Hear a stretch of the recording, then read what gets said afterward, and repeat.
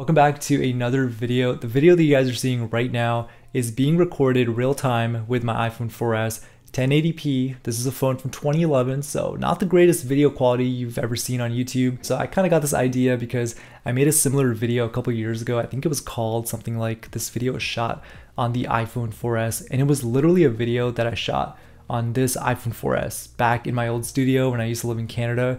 So I kind of got inspired by that because I wanted to make kind of like another video. But uh, yeah, this is a fun little idea that I had and I just want to film a bunch of random stuff both inside and outside as well. So we'll take this phone out in a little bit. Um, I did want to give a couple disclaimers though. So the audio that you guys are hearing is coming from this microphone. It is not coming from the iPhone 4S because it is pretty far away from like where I'm recording. So you guys probably wouldn't be able to hear me that well anyways and also there's like professional lighting set up around me but none of these scenes that you guys are seeing right now have been color corrected in Final Cut Pro. So what you're seeing right now is pretty much what the phone is picking up in real time. So I'm going to try to keep the editing very minimal on this video and just show you guys like that raw footage that this phone used to record back in the day with of course the exception of the lighting but anyways I do actually have an iPhone 4S right over here this is kind of going to be like my stunt double because I kind of need to show the phone that I'm recording with, if that makes sense.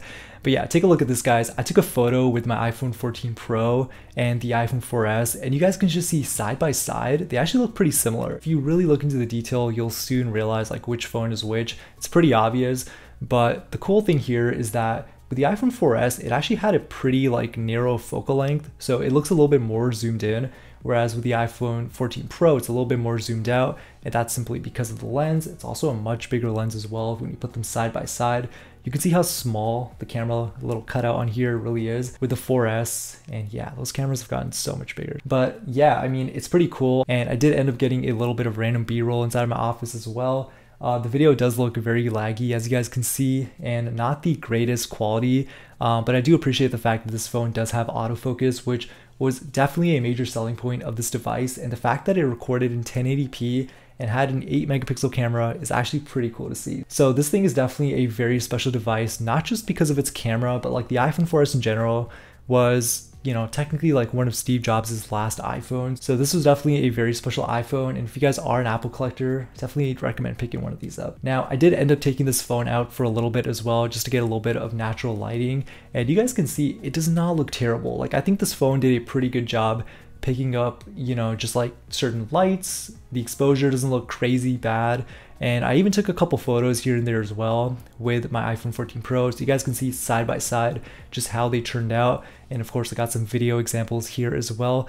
But honestly, like it is not a terrible device. This thing is almost 13 years old too. So kind of crazy to see how far the camera has come on the iPhone. And yeah, it just kind of blows my mind. Um, one thing I did want to mention though that I think is kind of cool is that with software, camera features can get better. Obviously, like you can't change the hardware that is inside the iPhone, but you know, as the iPhone 4S got updates over time, there were new features that the camera had. I think one of them was like time lapse, for example.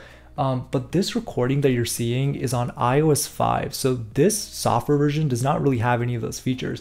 This is the software that was intended to ship with the iPhone 4S when it first came out in 2011. So this camera is optimized to work with 2011 software. I hope that makes sense. So it doesn't have any like crazy filters or any extra settings. Like this is what you got outside of the box when you first got your iPhone 4S. And I did want to say shout out to one of my Twitter followers. He's the one who actually sent over this device that's currently recording this video. Um, honestly, dude, shout out to you, man. Like he's he's super down to earth. He's helped me out a lot with my channel and um, you guys can go support him. I'll have his links down below. But uh, yeah, thank you for making that possible. Overall, it's not a terrible camera. I think Apple did a pretty good job back in 2011, and it makes me excited to see what kind of camera we can expect with upcoming iPhones. But anyways, guys, I hope you enjoyed this nice short little video. Just wanted to make something fun for you guys. I am currently working on a longer video that's going to be coming out hopefully in about a week or two from now. I do need to borrow an iPhone from one of my friends. Um, so he has a certain iPhone model. I don't want to give away the model just yet because it might give away the video idea.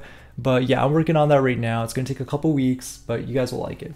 Anyways, I hope you guys enjoyed this video, learned something new. Comment down below if you guys want to. I'll catch you guys up next.